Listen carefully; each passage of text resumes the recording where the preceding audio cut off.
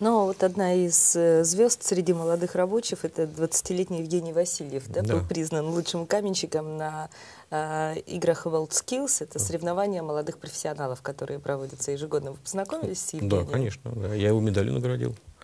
Вот он прославил нашу республику.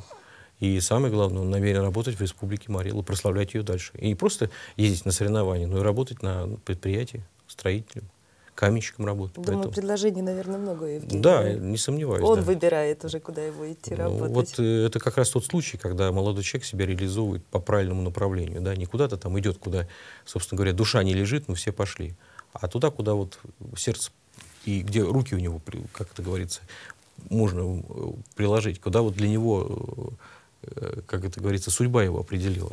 Но если у него получается взять кирпич, положить его настолько ровно, что даже там э, потом прибор контроля определяет там четкую э, значит, установку. Да? Ну, любо-дорого, хорошо, такие каменщики всем нужны. И побольше таких.